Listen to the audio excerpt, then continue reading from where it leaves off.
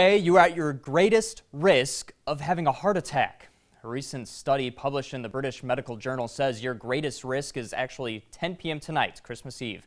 The study looked at 280,000 heart attacks over a 16-year period, and it showed the stress that comes with the holidays and poor eating increased the heart attack risks. We talked with a cardiologist about ways to stay calm this holiday season.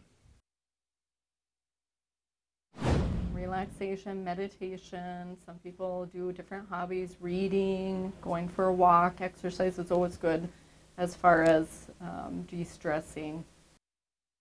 The study also showed an increase in heart attacks around New Year's and summer holidays.